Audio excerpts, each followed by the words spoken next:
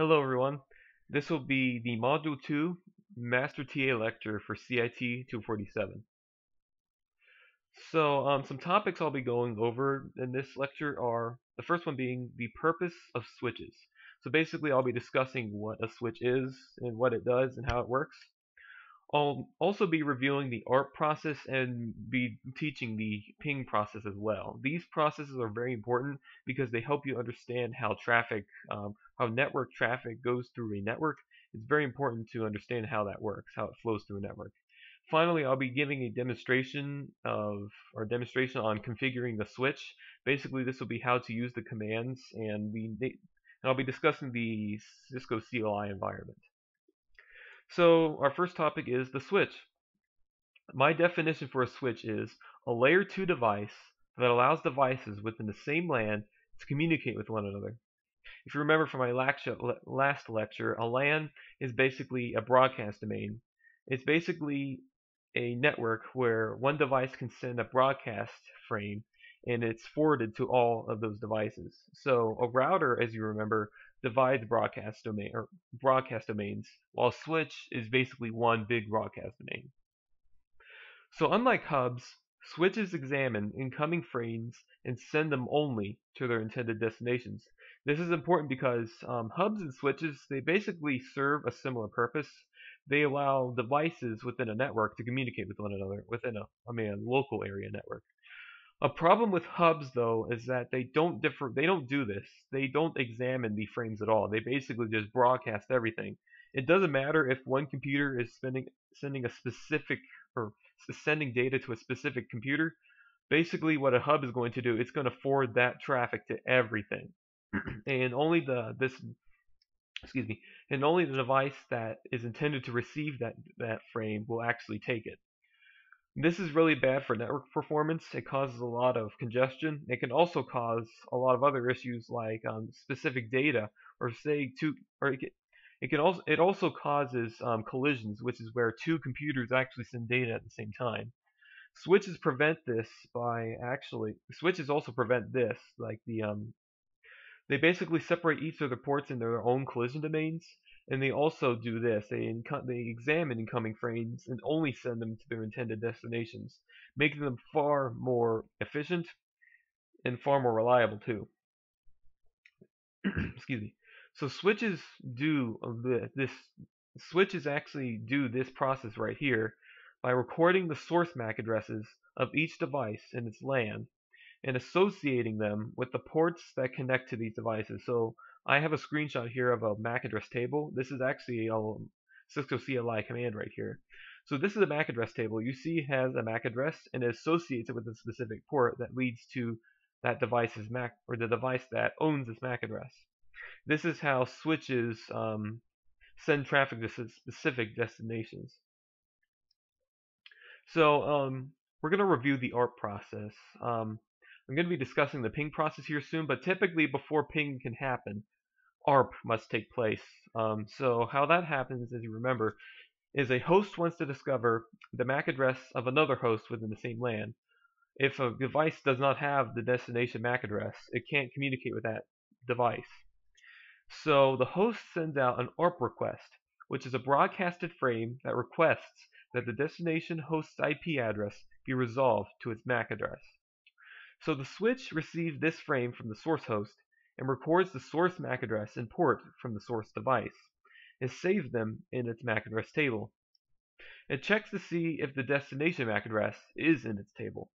If it's not, if the if the destination host's MAC address is not found in this table, the switch then broadcasts the source host's request throughout the entire LAN, with only the host with the destination IP address accepting it or destination MAC address accepting it. Excuse me.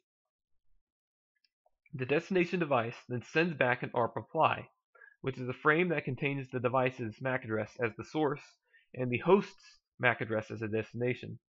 The switch then receives this frame, records the destination host MAC address and port, which is this port that or the device that received the ARP reply or response, or I'm sorry, the ARP request, and then the switch sends this frame to the source device. This device then adds the destination device's MAC address to its own MAC address table. So that's how ARP works. That's how devices in LAN discover each other's MAC addresses, which is important for them to. Um, this is important because without their MAC, without them knowing their MAC addresses, they can't communicate. So now we will discuss the ping process. So um, this is going to be another list of steps. Um, there's also a picture here I'll discuss in a minute. minute so let's let's take the scenario. So a host wants to send wants to send an echo request or ping to another host in the same LAN. As you may recall from the last lecture, ping basically is a, um, a communication that's used to ensure connectivity between two devices. It's basically a very simple connectivity test. So the two devices in this scenario already know each other's MAC addresses. In other words, ARP has already occurred. So in the second step, the source host forms the ping request packet. This is a layer 3 packet, which contains the source and destination host's IP addresses. This is layer 3 stuff. So this packet is then encapsulated into a, a, a layer 2 Ethernet frame containing the two devices' MAC addresses. This frame is then sent to the switch. Now, what's important here is that the layer we have layer 3 communication with IP addresses. However, there's no router in this um, this network. So basically, even when there is a route or a router, um, two devices that are adjacent to each other communicate with layer 2. This is the MAC, this is like MAC addresses and stuff. So basically, this layer 3 packet is encapsulated into a layer 2 frame. You could think of it like having a box and putting that box in another box. And then sending that second box, these two boxes out to um, a destination. That's basically how this works. So layer 3 packet is created. It has the source and destination IP addresses. And then this packet is encapsulated within a layer 2 frame containing the source MAC address of the source host, and then containing the MAC address of that destination host in the same LAN. so when the switch receives the Ethernet frame, it examines the MAC destination MAC address and checks if it exists in the MAC address table. Since it does, it sends the frame to the port that is associated with the destination address. The destination host then receives the Ethernet frame and recognizes the destination MAC address to be its own. The host decapsulates the echo request from within the frame and recognizes the destination IP address to match its own. The destination host responds to the echo request by sending an echo reply containing the source host's IP address as the destination layer 3 address. This packet is then encapsulated in an Ethernet frame containing the source host MAC address as the destination layer 2 address. the switch then receives this frame matches, matches the destination MAC address to its source host, or to the source host from the scenario, and then sends the frame to it. The source host then receives the frame, matches the MAC address to its own, decapsulates the frame, and then determines that the ping exchange between it and the destination host was successful. So that's basically how network traffic, how network um, packets and frames are trafficked through a network. That's basically how devices communicate in a network through um, layer 3 and layer 2 communications working together. We'll learn more about layer 3 uh, when we get to routers, but just understand that's how um, devices in a LAN communicate. So now we will go on, move on to our switch configuration overview. In this class, we will be configuring virtual machines in GNS3. This will require extensive use of these devices' terminals, which is known as the Cisco CLI. To do this, you will need to understand how this environment works and how to use its commands. This section will provide a demonstration of how to do this. I'm actually going to demonstrate this in GNS myself, but first, let's understand, let's get to know the Cisco CLI modes. So there are three major privilege modes on switches, and this is also the same for routers, but um, for this, just understand this is for switches right now. We're focusing on switches right now. So the first mode is user mode. This provides limited privileges privileges. You can read some things, or like you could see some data on the switch, but you cannot configure anything. With the exception of telnet connections, GNS skips this mode. This is important because when you sign in, so like here, when you sign into your switch, it's like this. This pound sign represents enable, the enable mode, which we'll be discussing in a minute. Um, user mode is just a um, greater than sign, I believe. So um, when you start up a switch or a router in GNS, it's going to be um, in enable mode already, unless you sign in with Telnet, and then in that case it starts in user mode. So speaking of enable mode, this mode lets you see all data and perform some configurations. There isn't much you can change on the switch in enable mode. There's a few things, but most of our changes are going to be focusing on configuration mode.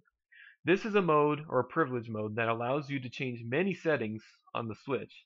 This mode and its submodes will be used extensively in this course. We'll be discussing those in a minute, but so this little um, flowchart right here. Basically, when you connect to a switch, either through a connect console connection through like a um, serial cable, or or console cable, or um, connect to it to connect to it virtually or digitally by Telnet or SSH, you arrive in user mode on a real switch. This is basically a mode where you can use a few show commands, which is how you see data on the switch, but you really can't change anything. You need to sign it into enable mode, which is typically password user and password protected. Then finally, you type a specific command, and you can enter global config or global configuration mode or configuration mode, which lets you configure stuff. So let's actually demonstrate this right here in GNS. So I have a switch right here.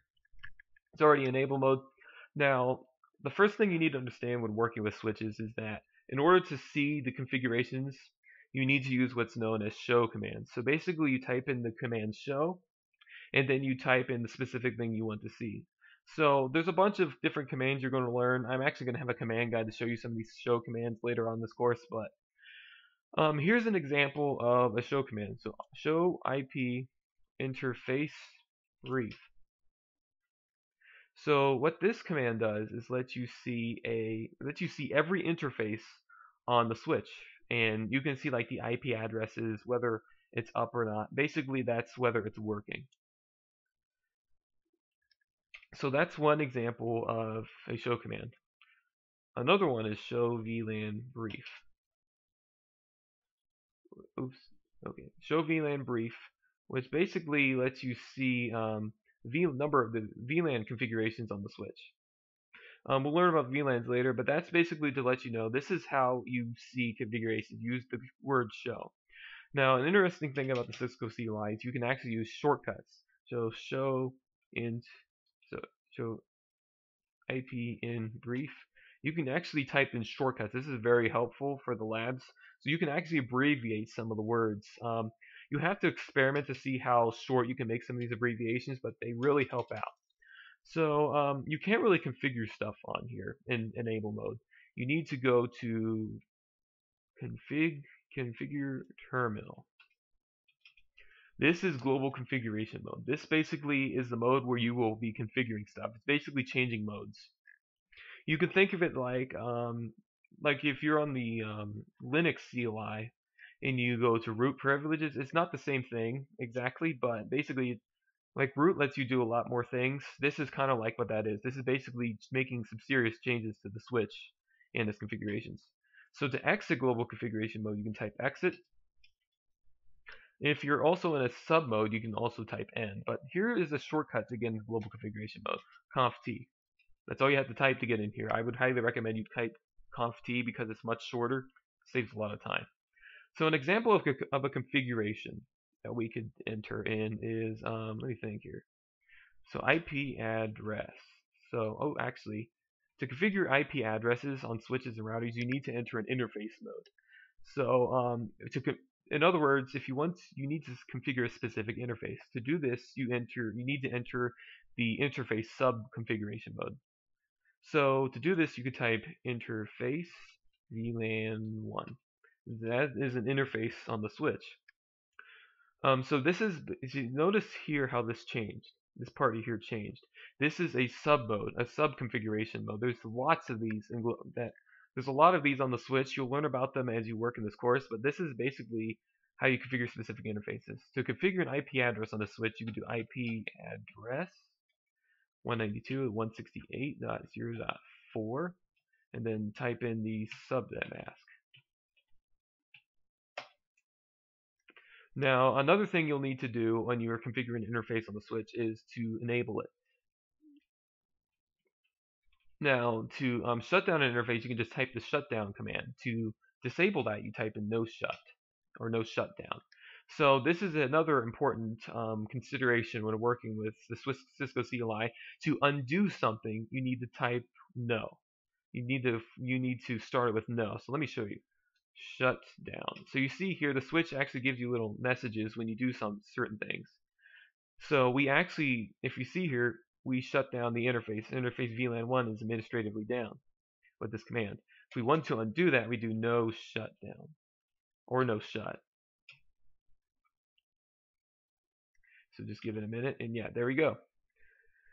So that's basically how you work with the Cisco CLI. I'm going to be giving you some command guides throughout the semester that will um, give you the commands you need to work with, but Lab 2 in this um, class will actually give you everything you need, most if not everything you need to um, work on the lab.